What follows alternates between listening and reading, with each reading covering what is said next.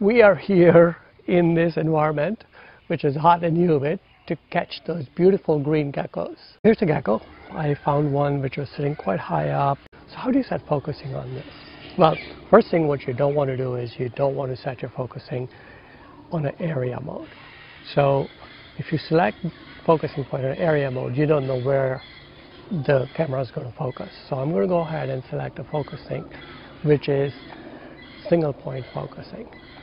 So now you can see that little square. When I press the shutter release halfway, it will focus on that square. Then the second thing I'm going to do is once I set that, I'm going to go ahead and to move that focusing square so it lines up with the gecko's eyes. Um, and sometimes you can't line it up correctly, so you do the best you can. Then when I want to take a shot, I can go ahead and take a shot. Now, I have selected a continuous focusing rather than a single shot focusing. So why is that? Well, remember, gecko is not a static subject. Its head moves. You can see it licking things um, on the leaf. So if its head moves slightly, its eye will be out of focus. So what you want to do is you want to select a continuous focus. Another thing you can do to get a sharp focus on the eye is use focus magnification button. But in order to use focus magnification button, on some cameras like mine, you cannot use the focus in a continuous mode. You have to set it a single shot.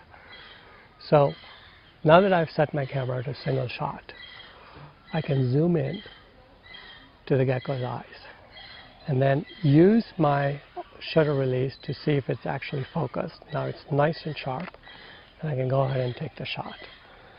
Now if when you preview this shot and you zoom in, you will notice that the gecko's eyes, where the focus should be, is perfectly defined. So focus magnification with single shot works as long as the gecko is sitting there and not moving too much. If it is moving too much, then put it on continuous mode. But in both cases, I ended up using a single focusing point to focus exactly where I want the focus to be. In this case, eye of the gecko.